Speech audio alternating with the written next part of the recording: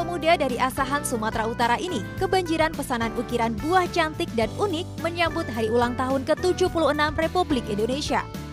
Kaliannya dalam seni mengukir buah atau fruit carving. Ia juga membuat ragam seni ukir mulai dari ucapan hari kemerdekaan dan foto karakter Presiden Joko Widodo. Seni ukir buah ini mulai diminati banyak warga dalam berbagai kegiatan seperti acara pernikahan dan lainnya.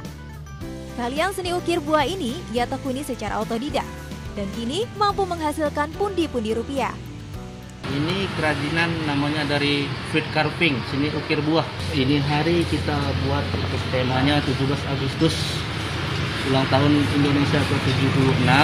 Semoga Indonesia kita juga cepat kembali bangkit dari semua penyakit-penyakit virus corona ini.